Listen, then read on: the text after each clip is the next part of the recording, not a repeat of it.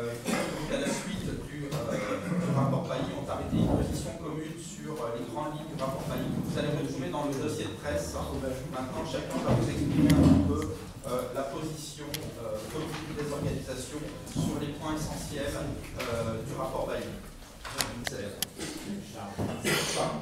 Inverser les querelles en ici. Je suis pas de la CGT.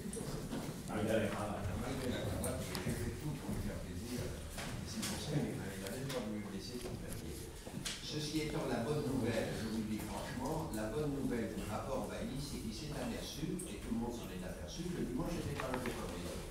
Ça, c'est la principale nouvelle. Et je le dis tout de suite pour euh, faire court, parce que tout le monde va prendre la parole maintenant et vous poser des questions après. Je peux vous dire qu'il n'y a pas de miracle dans la vie. Un commerçant, il n'a pas besoin d'énarque ni, ni polytechnicien pardon, pour savoir si vous ouvrez ou pas commerçant pourrait ouvrir tous les jours sans faire travailler ses employés, mais ça sert strictement à rien, à part ce qu'a dit notre conférencier tout à l'heure. Si vous êtes dans une zone, évidemment, euh, je vais dire les Champs-Élysées, où vous avez une telle manne euh, qui vous tombe sur la tête, là il faut bien réfléchir, qu'est-ce qu'on fait, comment on l'organise pour ne pas laisser échapper cet argent. Autrement, ça ne sert à rien. Je l'ai dit tout à l'heure, tous les pays qui ont essayé, nous-mêmes, nous avons essayé, et même un jour, je vous citer quand même un grand magasin, ça ne lui a pas du tout que je reprenne ce qu'il a dit, parce qu'il a dit que c'est un peu différent. Le grand patron des Galeries Lafayette, je suis à RMC, il est avec moi et on discute et il raconte en direct que quand il ouvre le dimanche, savez, les cinq dimanches de décembre, eh bien, quand il fait un très très très gros dimanche, un très gros dimanche, il a dit carrément je le revomis dans la semaine.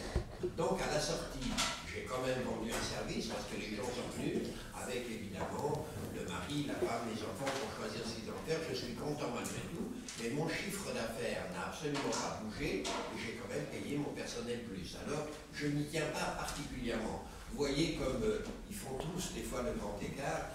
Et voilà. Alors, ce que je veux dire en clair, c'est que nous, à la Confédération des commerçants de France, je parle également, euh, que j'ai eu un coup de téléphone tout à l'heure, de la part de la CGPME, dont je fais partie et qui je fais partie la branche commerce. Donc nous avons la même position sur le plan patronal, Confédération des commerçants de France et la CGPME. Nous, c'est les cinq dimanches, rien de plus. Rien de plus. Voilà.